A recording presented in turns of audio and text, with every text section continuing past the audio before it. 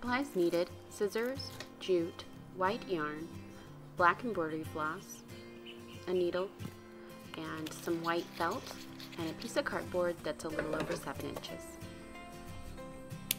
Now you'll just want to wind your yarn on the piece of cardboard uh, fairly thick so that your tassel is nice and fluffy. And then I'm going to cut three strips of yarn that are twice the length of my piece of cardboard and set those aside. It's time to take the tassel off of the cardboard. We're going to use one of the strands and tie a knot around the top of the tassel. Then we're going to flip it inside out so that that knot goes inside and cut the other side of the tassel in half. Now grab your felt and cut a little circle out of the felt. This is going to go underneath the tassel. It's going to go in the middle. It's going to stabilize your thread when you tie, um, when you do French knots. To make a French knot, twist your uh, thread around your needle a few times and make sure you hold down that thread with your thumbnail while you pull out the needle with the other hand. Make sure you're holding on to the twists and then pull it out and that's how you do a French knot.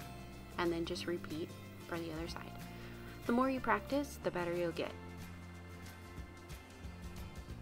Once you're all done with the French knots, you'll tie a knot in the back of your felt and clip off your threads. Now you have little ghost eyes. We're going to take another piece of the yarn. We're going to tie a slip knot in the very top of it, and this is going to be what you're going to hang your ghosts from. So you want to make sure your slip knot isn't too tight to go around to go into the jute twine. Make sure your slip knot's large enough to do that.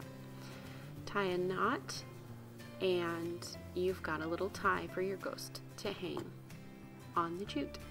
And then now you just need to separate the head of the ghost body, finishing your tassel. And I kind of play around with that a little bit. Make sure your yarn is all straight, smooth. Tie a double knot and straighten out your yarn, clip off the ends, and your little ghost tassel is finished. Now just string it onto your jute